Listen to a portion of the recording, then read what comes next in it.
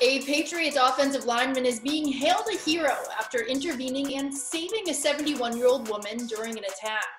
Tempe, Arizona police say Justin Herron of the Patriots was one of two Good Samaritans who stopped a 30 year old man from sexually assaulting a woman at a park on Saturday morning.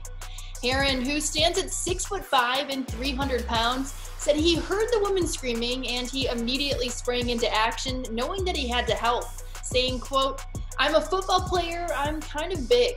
I try not to be too aggressive with people knowing I could potentially hurt somebody.